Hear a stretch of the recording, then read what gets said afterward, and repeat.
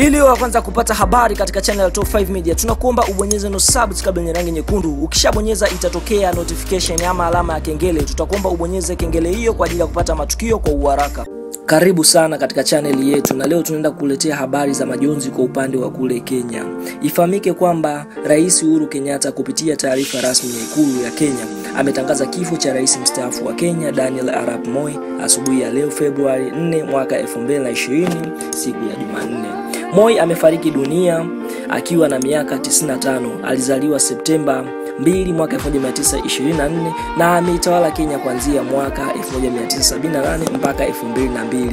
Ifahamike kwamba Daniel Arap Moi alipokea kijiti ama alikuwa ndo rais wa pili baada ya Jomo Kenyatta kuipatia nchi ya Kenya uhuru, na yeye ndo akafuatia pale nafasi ya pili.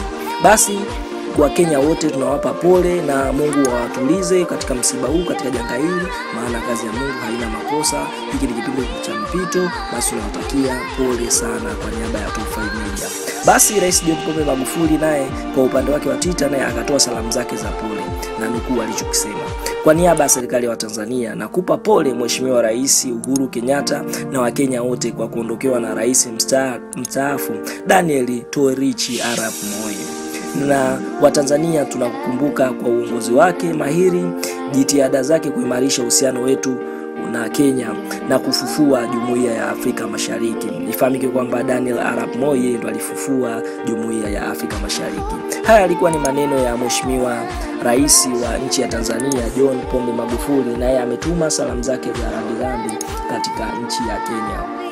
Ifahamike kwamba rais huyo aliongoza mwaka 1978 mpaka 2002 na amefariki siku ya leo Jumanne asubuhi tarehe 4 mwezi wa pili mwaka 2020 na ifahamike kwamba amefariki akiwa na umri wa miaka 95. Mungu ailaze roho ya marehemu mahali pema peponi, amen. Si hatuna la ziada, tunasema bye. Tunaomba tu subscribe channel yetu bila kusahau kudondosha komenti zako. Asante, bye. Unamkumbuka kwa lipi rais huyu? Ili wa kwanza kupata habari katika channel Top 5 Media, tunakuomba ubonyeze no subscribe yenye rangi nyekundu. Ukishabonyeza itatokea notification ama alama ya kengele. Tutakuomba ubonyeze kengele hiyo kwa ajili ya kupata matukio kwa uharaka.